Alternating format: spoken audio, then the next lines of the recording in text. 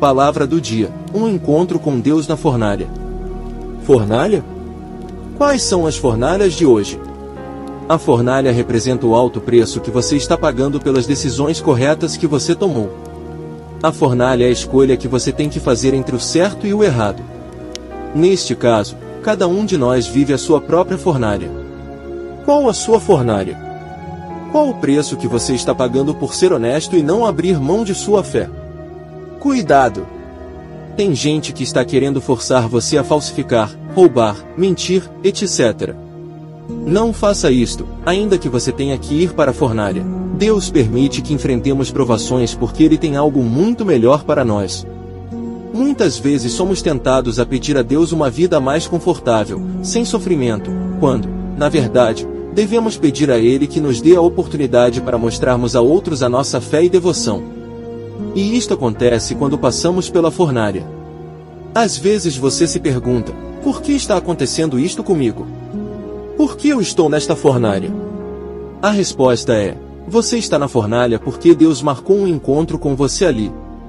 Deus quer colocar à prova toda a sua história de fé, todo o conhecimento que você adquiriu na escola dominical, nos cultos doutrinários, nos sermões pastorais, nos aconselhamentos, na oração, na consagração, nas leituras devocionais. O conhecimento de Deus que aqueles três homens tiveram na infância salvou suas vidas quando eles foram lançados na fornalha. A fornalha é o lugar onde você terá que apresentar a razão de sua fé. Conclusão.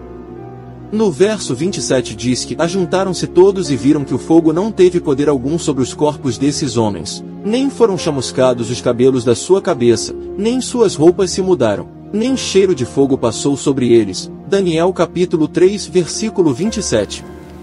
Sabem por quê? Porque eles confiaram em Deus e o próprio Deus veio ao seu encontro no lugar da provação. Não tenha medo de ser lançado na fornalha de fogo ardente porque Deus virá ao seu encontro. Se você está na fornalha, não se desespere. Você não vê, mas outras pessoas à sua volta estão vendo que você não está sozinho porque Jesus, o quarto homem da fornalha ardente, está ao seu lado. Amém.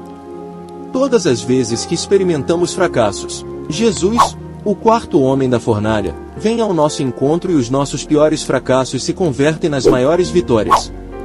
Se você está em crise, saiba que o mesmo Deus que permitiu a crise, também dará fim à crise. Deus te livrará da fornalha de fogo ardente das mãos do rei. Deus te livrará das mãos do homem perverso. Basta tomar a decisão certa e confiar no Senhor. Deus te abençoe.